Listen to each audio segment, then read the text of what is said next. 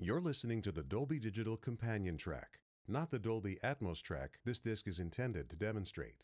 To listen to the Dolby Atmos soundtrack, please set your Blu-ray player to Bitstream out and connect your player to your Dolby Atmos enabled receiver via HDMI.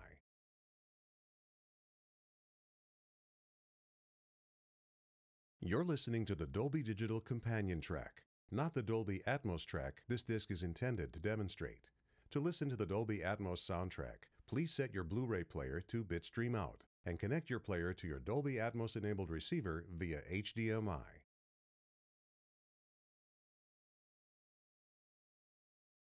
You're listening to the Dolby Digital Companion track, not the Dolby Atmos track this disc is intended to demonstrate. To listen to the Dolby Atmos soundtrack, please set your Blu-ray player to Bitstream out and connect your player to your Dolby Atmos enabled receiver via HDMI.